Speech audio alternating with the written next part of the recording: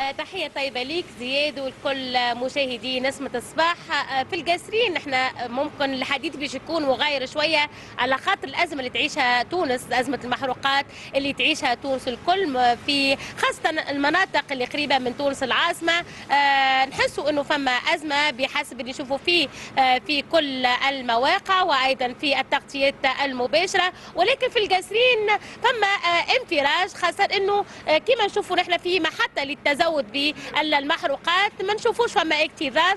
في الوقت اللي نشوفوا إنه المحروقات متوفرة بجميع أنواعها. يعني هنا القاسين نقولوا إنه آه، بعيدة شوية على تداعيات أزمة المحروقات آه، بتونس. خاصة إنه نعرفوا إنه القاسين منطقة حدودية وأغلب الناس خاصة اللي يسكنوا على الحدود يتزودوا مش من محطات التزود بالمحروقات فقط وأيضا من المحروقات المهربة من القطر الجزائري وذي لاحظوا فيه موجود على طول معناها الحدودي وحتى آه، في عمق المدن. معنا السيد رمزي محمدي آه، كاتب عام آه، رئيس الغرفة الجهوية للمحروقات.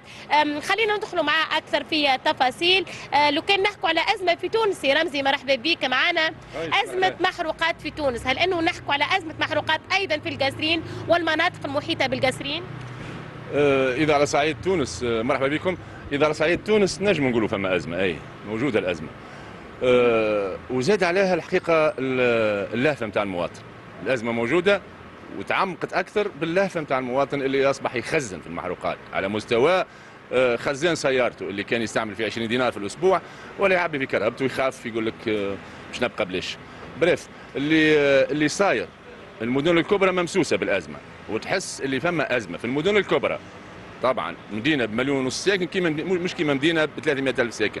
مدينة بأسطول فيه زوز ملايين قطعه مش كيما مدينة بأسطول فيه 200 ألف قطعه إحنا هنا في القصرين الحقيقة التزويد متواصل بريتم معقول. طبعا الشركات متعدة الأسماء متعدة فما اللي مخزونها يسمح لها باش تزود بتزويد متواصل فما اللي مخزونها تمس شوية وطاح ولا تزويد صعيب شوية. يبقى في المجمل التزويد على على مستوى القاسرين آه، حتى اذا حتى إذا تصير rupture راهي بت- rupture قصه نتاع نص نهار وتو de suite آه، آه، يصير تزويد المحطات.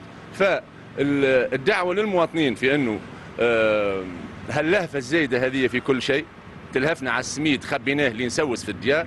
تلهفنا على الخبز شدينا الصف والخبز موجود تلهفنا في كل حاجة تخرج فيها خبر نتاع نقص نتاع آه، هكا شوية المادة عزيزة.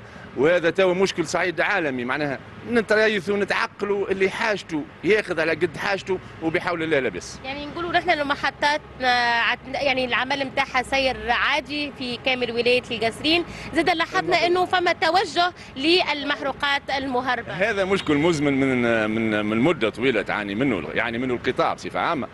و... و... وعنده طبعا عنده وزن وعنده part de marché ماخذها. آه، يساهم في حلان المشكل صحيح؟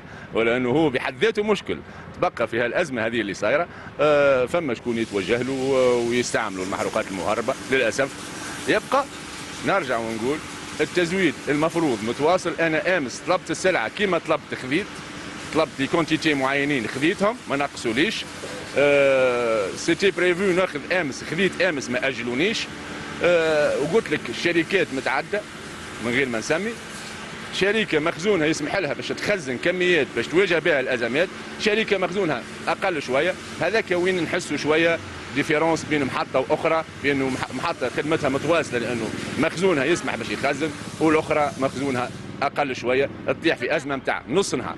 شكرا لك سي رمزي على هذه المعطيات. كما قلنا إنه التزود تقريبا عادي في كل محطات التزود بالمحروقات. أيضا كما قلنا فما توجه للمحروقات المهربة. يعني في القصرين ممكن من المناطق اللي نجموا نحكوا فيها إنه ما فماش تداعيات على معناها أزمة المحروقات بتونس. وما زال معناها آه، بالطبيعة نشوفوا هذه محطه من المحطات هذه عينة من العينات آه، ما فماش اكتراث آه، متوفرة المادة البترولية. وبالطبيعه إن شاء الله آه، أزمة وتعدي.